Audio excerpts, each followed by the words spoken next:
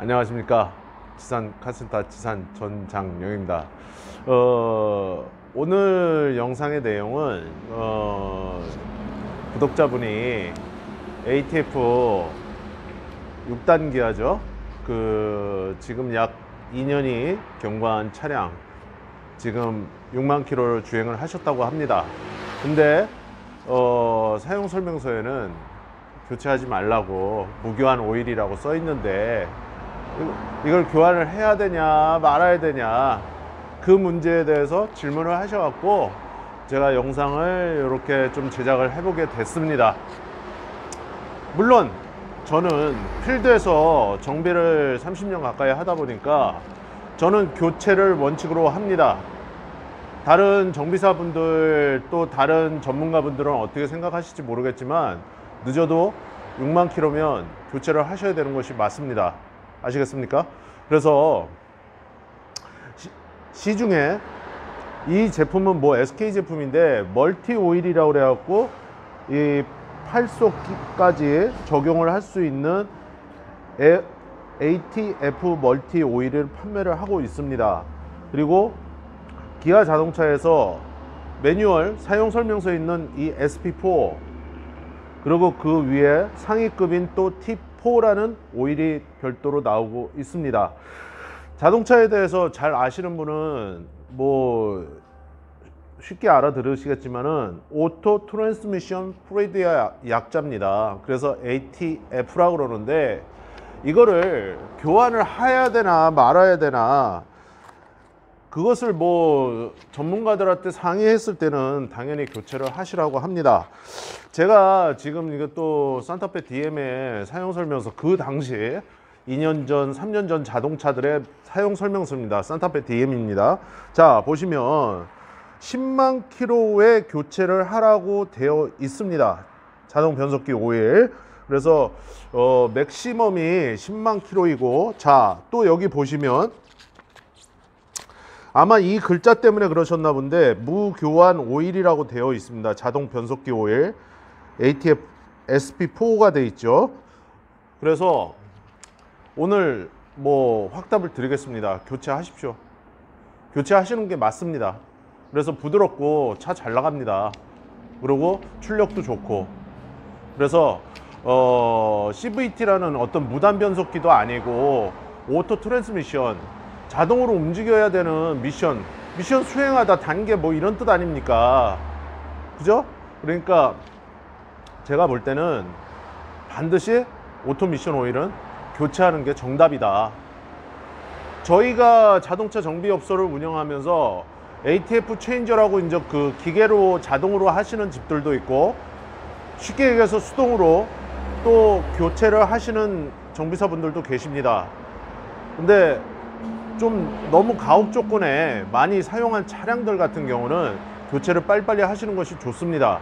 그래서 어 아까 이 책자에 나와 있는 그런 변속기 오일 같은 경우에 보시면 여기 가혹 조건이 10가지가 있습니다. 10가지가. 그래서 10가지에 제가 생각하기에는 포함이 안 되는 자동차들이 없습니다. 그래서 어 요즘 같은 때 이게 포함이 안 되고 대구가 중요한 게 아니라 당연히 경기도 안 좋고 그러니까 자동차에 대해서 절약을 하셔야죠. 수리하는 거를, 정비하는 거를. 하지만 정비하는 거를 절약하실 필요는 없습니다. 내가 자동차를 타는 한동안은 여러분들이 주로 이용하는 시내버스, 개인 택시, 회사 택시 정비 안 합니까? 정비합니다. 회사에서. 아시겠죠? 그래서 자동차를 운행을 하실 때는 점검하시고 관리하시고 정비하시는 게 맞는 겁니다. 아시겠죠? 그래서 저희 같은 경우는 일반 소비자들, 고객분들과 견적을 넣을 때 설명을 드립니다. 우리가 한 말이라고 그러죠? 이 20리터. 한 말 기준으로 했을 때 한 말을 다 해드리는 경우도 있습니다. 물론 리터 수에 따라서 뭐 몇십만 원 주세요 이러지는 않습니다. 저렴하게 합니다. 저희는 뭐 다른 정비사 분들도 저렴하게 하시겠지만은 이 이런 리, 이런 통으로 나오는 이런 제품들도 마찬가지입니다. 뭐 다섯 통, 여섯 통 뭐 이런 식으로 교환하고 그 리터수 만들어서 비커 다 보고 확인하고 수동으로 할 때는 그렇게 합니다. 그래서 너무 더러운 자동차, 오토미션 오일이 너무 더럽다 생각하는 자동차들은 그 수동으로 한번 교체를 하시고 다시 신유 넣고 시운전 삼아서 동네 한 바퀴 돌고 그러면 다 돌 거 아닙니까? 그 내부 안에서 그죠? 변속을 하게 되니까 그리고서 다시 한번 ATF 체인저로 그러니까 자동 변속기 오일을 교환하는 기계로 다시 한번 교체를 하시면 완전히 very nice good입니다. 그래서 그렇게까지 하라는 것도 아니지만 자동차 정비소에 운영 방침이 있고 자동차 정비사의 생각이 있고 판단이 있습니다.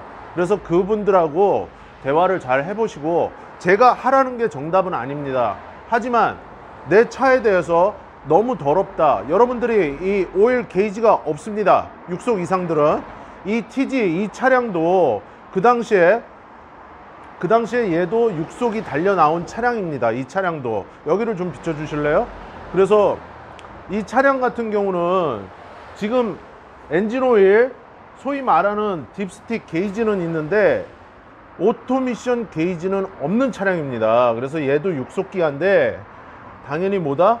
교체를 해야 된다. 그래서 교체를 하였습니다. 제 차도. 그래서 여러분들이 어떤 기간이 너무 경과가 되거나 키로수가 너무 좀 지나가서 오바가 된 차량들은 교환이 답이다. 교체가 답이다. 아시겠죠? 이 차량은 2009년식이고 그리고 실제 6만 킬로도 주행을 안 한 차량입니다. 그러면 교체 안 합니까? 교체해야 됩니다. 10년이 넘었기 때문에. 무슨 말씀인지 아시겠죠? 그래서 키로수가 너무 오버가 된다거나 아니면 계열수가 너무 많이 지났다 생각하시면 교환하십시오. 그게 정신건강에 좋습니다, 여러분. 항상 제가 얘기하지만 저는 지금 장사 목적으로 하는 것도 아닙니다. 지금 자동차 정비소를 운영을 하고 있지 않기 때문에 제가 했던 그 시점 27년이 끝나는 3년 전 그때까지의 기준으로 말씀을 드리는 겁니다. 지금도 마찬가지입니다. 지금 8속 기아가 나왔지만 8속 기아 또 오일 안 갑니까? 8속 기아도 시간이 되면 또 교체를 하셔야 됩니다. 뭐든지 아시겠죠?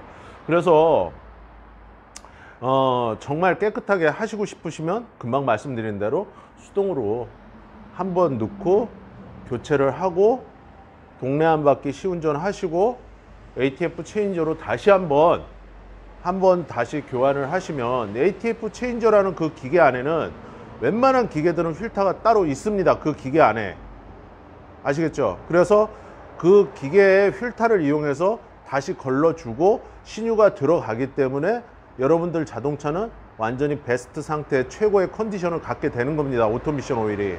그래서 오토미션 오일을 교환을 해야 되냐 말아야 되냐 교환을 해야 되냐 말아야 되냐 앞으로 이 댓글은 아마 안 달릴 것 같습니다. 저한테. 하지만 뭐다? 6속 이상 무교환 오일이라 하더라도 교환을 하셔야 된다. 저는 그렇게 생각을 합니다. 그래서 어, 나는 영원히 뭐 20만 킬로고 30만 킬로고 그냥 나는 교환 안 할 거야. 메이커에서 그렇게 써놨으니까. 그럼 여러분 연비 나빠집니다. 차 미션도 나중에 망가질 수도 있습니다. 아시겠습니까? 그래서 자동차 제작사들이 가혹 조건이라는 거를 써놓는 이유는 가혹 조건이 됐을 때는 당연히 뭐다?